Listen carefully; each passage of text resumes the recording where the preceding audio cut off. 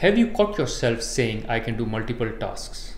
Or imagine to possess the ability to do multiple things all at one time? In this video, I will share with you the truth behind our ability to multitask. Hi, my name is Bahroz. I have 15 years of corporate experience and passion for consuming and creating content around self-development and personal growth. Now before moving on, please do press the subscribe button so I can continue to create content around self-development and personal growth that will help maximize your potential. I always assumed I had the ability to get more things done by multitasking until this myth was busted.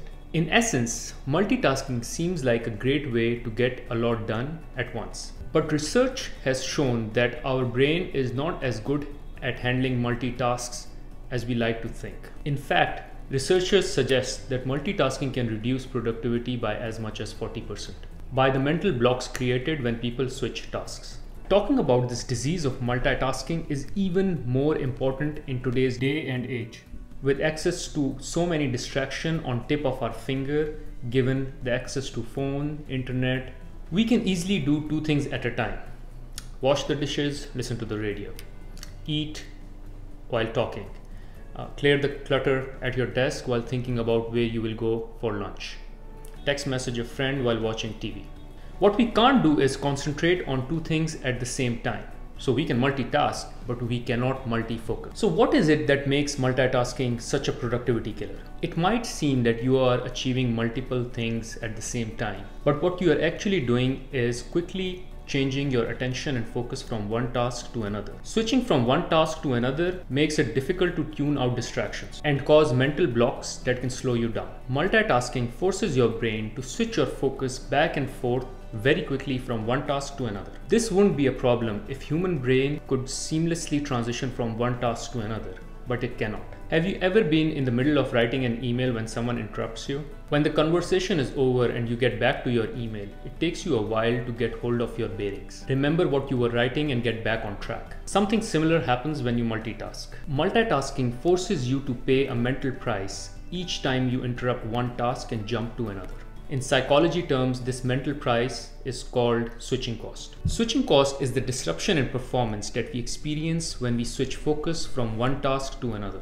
One study found that a typical person checks his email once in every 5 minutes and it takes 64 seconds to refocus and resume the task after checking the email. In other words, just by email alone, we waste one out of every six minutes. Another downside of multitasking is being prone to mistakes, which is a logical consequence of having lack of focus. When doing several things at once, your mind is divided between them. So it's only natural that your mistakes will multiply. And according to a research, multitaskers are terrible at filtering out irrelevant information. That is, there is sure to be mental overlap and cross-firing between tasks. Now, since monotasking brings about greater productivity, that also means greater fulfillment actually making the process and the completion of the task even more enjoyable. Monotasking doesn't mean that your other projects won't get completed. It only means that you will get them done one at a time in order of their priority, without the feeling of being fragmented,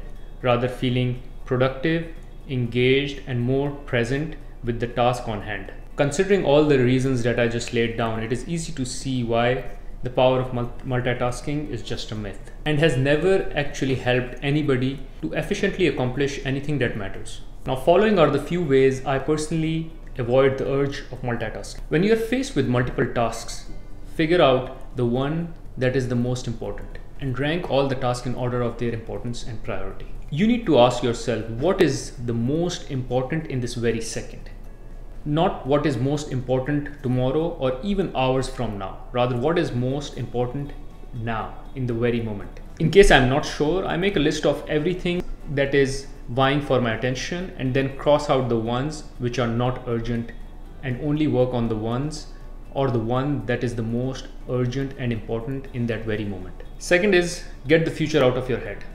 Here, what I do is I make the list of everything that needs to get done, but in the future and not now. This is a way for me to get all of my ideas out of my head and on the paper. This serves two purposes. One, that I don't forget any of these ideas or tasks that I need to accomplish in future. Second, since I've listed them down in order of priority and assigned them a time frame in future, this elevates all the stress that I may have in order to get them done now. Another method I used is a 20 minute rule. So instead of constantly jumping from one task to another, I try to fully devote my attention to one task for full 20 minutes before switching to another task. Create more structure to your work. Perform highly creative tasks in the morning when you are more fresh and then take short breaks before moving to each of the next tasks in the list. I also put my inbox on pause for an hour or two and put my phone on the silent when I'm engaged in one particular task so I don't get distracted. I have breaks for checking my emails and checking my phone. But during the time I'm engaged in the now, in the present, and doing that one important task that needs to get done, I try to minimize as many distractions in the surroundings as possible. Hope you enjoyed the video and learned something.